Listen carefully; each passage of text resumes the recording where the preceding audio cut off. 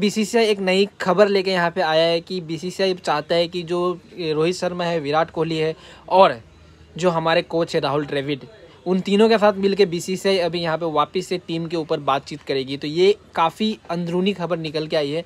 And मेरे को ये सुन के अब लग रहा है कि हाँ इंडियन टीम अब शायद थोड़ा सा सीरियस मोड में आ चुकी है। क्योंकि जो बीसीसीआई है, अभी तक तो भाई यहाँ पे कुछ हार्श डिसीज़न ले नहीं रही थी। जो प्लेयर्स इंजर्ड है अनफिट है, उसको यहाँ पे भेजे जा रहे थे। जैसे कि अभी तीन प्लेयर का मैं नाम बोल सकता हूँ, तीन नहीं, दो प्लेयर का। एक यहाँ पे कुलदीप सिंह जो कि यहाँ पे अनफिट था, आधा फिट था, और उसके बाद यहाँ पे दीपक चहर, जो आधा फिट था, उसको यहाँ पे भेजा था बांग्लादेश दौरे के पास। ठीक है? तो अब यहाँ पे बात निकल के ये आती है कि इंडियन टीम का फ्यूचर बीसीसीआई खुद ही ख़राब कर रही थी इतने दिनों से। जो सिलेक्टर्स थे यहाँ पे, ऐसे ऐसे प्लेयर सिलेक्ट कर रहे थे ना मैचेस के लिए, भाई या तो वो एज से ज़्यादा हो गए, या फिर वो अनफिट है। यहाँ पे फिट प्लेयर को चांसेस तो मिलता ही नहीं है। अब फिट प्लेयर की बात करूँ तो मैं यहाँ पे संजू सैमसन की बात कर रहा हूँ, ठीक है? संजू सैमसन को यहाँ पे बैठा के रखे इन लोगों ने टीवी मैच देखने के लिए। मेरे को समझ नहीं आता कि क्या दुश्मनी है भाई संजू सैमसन से इनकी।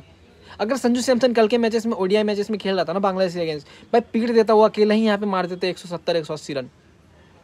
बट उसको तो चांसेस चांसेस ही नहीं दे रहा। अब मेरे को समझ नहीं आता कि श्रेयस अय्यर और संजू सैमसन एक जैसा ही खेलते हैं। दोनों के खेलाओ भाई, यहाँ पे अगर ओपनर्स नहीं है के राहुल से नहीं होता है तो उसको बैठाओ यार।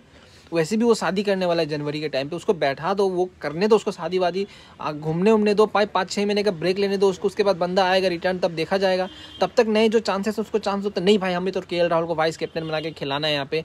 अब देखो यहाँ पे ऐसे अगर चल करोगे तो भाई नहीं होगा, क्योंकि देखो, हर प्लेयर का हर अलग अलग चीज़ का मोड होता है। अब के राहुल को अगर देख लो तो वो टी ट्वेंटी में बहुत ही अच्छा खेलता है मतलब छोटे टीम के अगेंस्ट ठीक है। अब यहाँ पे जैसे सूर्य कुमार यादव को ओडीआई में लोग डालना चाहते हैं बट सूर्य कुमार यादव ओडीआई का प्लेयर ही नहीं है। सूर्य कुमार यादव है, तुम्हारा टी ट्वेंटी का प्लेयर बट ये लोग उसको ओडीआई में टुक टुक करके खिलवाना चाहते हैं सूर्य कुमार यादव से होता नहीं है। वो आउट हो जाता है, या तो कट मार के आउट हो जाएगा रोकने के चक्कर में, या फिर वो कैच आउट हो जाएगा कभी धीरे से मारने के चक्कर में। तो ऐसा होता है। तो ये लोग को मतलब बीसीसीआई को यहाँ पे दो से तीन यहाँ पे टीम का जो कोच है, उसको बदलना चाहिए। उसके बाद यहाँ पे जो कैप्टन है, हर फॉर्मेट का अलग होना चाहिए। टेस्ट का अलग वनडे का अलग टी ट्वेंटी का अलग। अब यहाँ पे ये खबर तो निकल के आई है कि तीनों यहाँ पे अब करेंगे बातचीत। अब यहाँ पे कौन कौन करेंगे तो मैं फिर से बता दूँ कि रोहित शर्मा रहेगा, विराट कोहली रहेगा, राहुल द्रविड और बीसीसीआई के जो चीफ वगैरह है, जो सिलेक्टर वगैरह हैं, वो सब रहेंगे और यहाँ पे अभी बहुत ही बढ़िया तरीके से ली जाएगी यहाँ पे एक दूसरे की मैं अब एक समझ लाओ, एक दूसरे की कैसे ली जाएगी। क्योंकि रोहित शर्मा ने यहाँ पे सीधा यहाँ पे कल के जो प्रेस कॉन्फ्रेंस में बोल दिया था कि इंडियन टीम के लिए अभी यहाँ पे बड़ी मुसीबत क्या है, वो है अनफिट प्लेयर जो प्लेयर आधा फिट है, उसको यहाँ पे भेज देते हो मैच खेलने के लिए कंट्री को रिप्रेजेंट करने के लिए। रोहित शर्मा ने ये भी बात बोला कि भेज रहे हो तो भाई पूरे फिट प्लेयर को भेजो यहाँ पे। या तो ये एनसीए की गलती है भाई नेशनल क्रिकेट अकेडमी यहाँ पे देखती नहीं है प्लेयर्स को कि कौन सा पूरा फिट है, कौन सा आधा फिट है, यहाँ पे सिलेक्ट करके भिजवा देते हो ये लोग। तो ये चीज़ें गलती है। जब प्लेयर पूरा फिट हो, तभी यहाँ पे वो आके खेलेगा कंट्री के लिए तो काफ़ी ज़्यादा मतलब मज़ा आएगा और वो लोग पूरा हंड्रेड परसेंट दे पाएँगे। तो रोहित शर्मा भी ये बोला था, अब देखो, रोहित शर्मा की गलती नहीं है। अकेला कैप्टन मैंने कल के वीडियो में भी बताया था कि अकेला कैप्टन कुछ नहीं कर सकता है।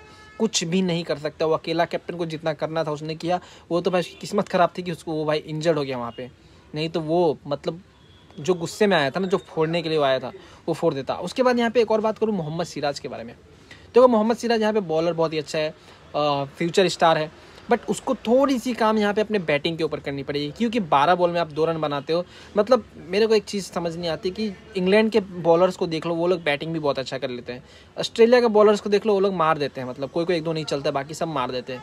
ठीक है? और भी बहुत सारे टीम है। साउथ अफ्रीकन बॉलर्स को देख दो वो भी यहाँ पे मार देता है रबाडा वबाडा को देख लो, वो भी पीट पाट देता है। हमारे इंडियन बॉलर्स को क्यों नहीं यहाँ पे बैटिंग के लिए सिखाया जाता है? आप यहाँ पे बॉलिंग पे काम करवा रहे हो, ठीक है? एट्टी परसेंट बॉलिंग पे काम करवाओ ट्वेंटी परसेंट यहाँ पे बैटिंग पे काम करवाओ, क्योंकि कभी भी क्रिकेट में कोई भी ऐसा सिचुएशन आता है ना, जब एराइज हो जाता है तो आपको पता नहीं चलता कल का ही सिचुएशन आप देख लो यहाँ पे। मोहम्मद सिराज के पास इतनी अच्छी बैटिंग थी, इतना स्लो बॉल डाल रहा था, वो देख के मार सकता था बट वो अंधे की तरह घुमा रहा था तो उसकी वजह से भी हम लोग यहाँ पे मैच रहे थे। और कल के मैचेस के बाद मैं सदमे में था, मैंने बोला था कि मैं वीडियो नहीं बनाऊँगा बट यार, दिल है, देश है, दिल तो इसी से लगाना पड़ेगा हमारा, ठीक है? ये देश अपना ही है, ये प्लेयर्स अपने ही है तो कितने दिन तक इनसे मुँह मोड़ के रहे?